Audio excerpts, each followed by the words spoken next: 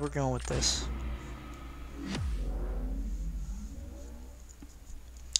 What's my fastest ever BG fight? Something with Tigra, like 20 some odd seconds.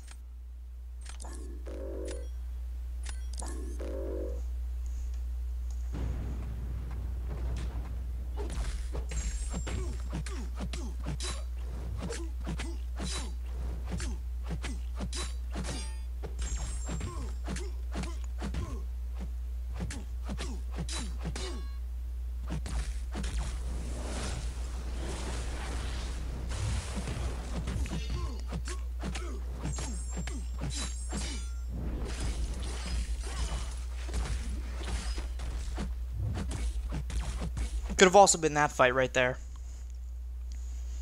31 seconds.